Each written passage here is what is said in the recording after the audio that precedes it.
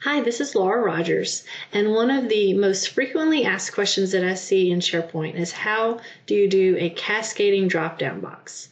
Now, what is a cascading drop-down box? Well, it is when you would like to have a drop-down box in your form where people can select an item in the first drop-down box which will affect what appears in the ne- next drop down box. And this cascades on down to however many levels. Like, for example, you could pick a country, and then when you pick a country, that would narrow it down to the states in that country. And then once you pick a state, then your next um, drop down box might be limited just the cities in that state. So that's the kind of thing that a drop down, a cascading drop down box will do. Now, there isn't just an out of the box way to do that in SharePoint, but there is an out of the box way to do that in InfoPath. So I'm going to show you in InfoPath 2007 how to easily create a cascading drop down box.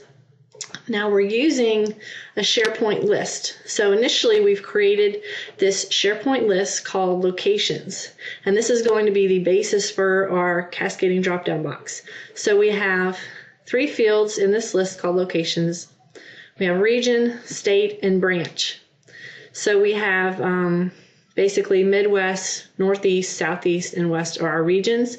And then within each of these regions, you're going to have some states, and then we have some branch numbers, which should be like your, you know, just your branch offices, and, and the branch offices in this example are just um, numbered. So what you want to do is create a form that lets you pick a region, and then once you've picked a region, it then filters the state box by only states within that region. So let's do that in InfoPath 2007.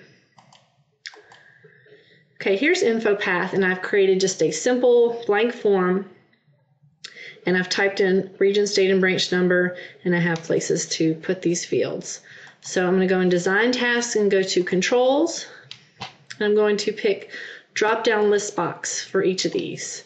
So I'm just dragging Drop Down List Box. And then once I've, just as a general good practice in InfoPath, once I've created these fields, I want to go ahead and name them quickly branch. Okay, so now they're named correctly. And when I go into design tasks and go to data source, I can see that I have now the five fields in my form. Now, um, each when I select an item in the drop-down box, whatever I select is going to be stored in these InfoPath fields.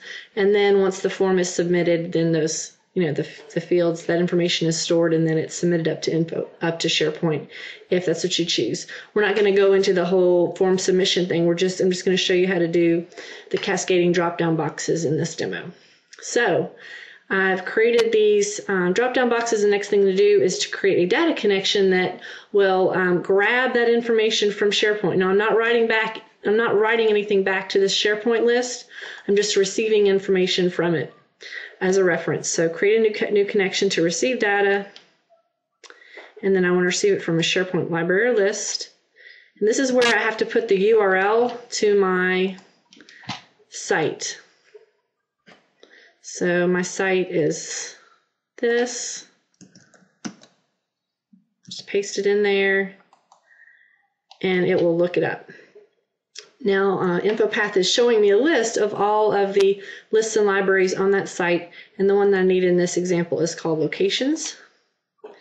So I need these three fields, region, state, and branch. Um, so when I receive data from that SharePoint list, I'm receiving those three fields, so you can be selective about which fields you get. And then this offers me an, an you know an option to store the data in the form template. That's up to you. And then this one lets you name this data connection and allow to re retrieve the data right when the form is open. In this example, I'll just allow that. And now I have a new data connection called locations. So for each of these three drop-down boxes, I'm going to be using the data from that location.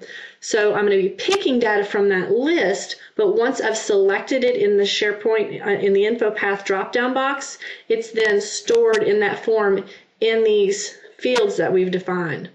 So I double clicked on region and now I want to look up values from an external data source. The only data source I've defined is locations, so there it is. And then within locations, I want, for this one, I want to pick the region.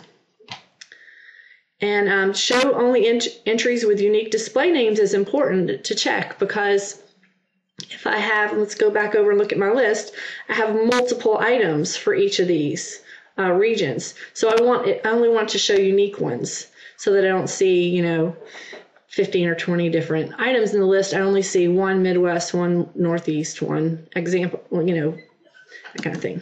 Okay, so click OK. And now I'm going to move on to state real quick.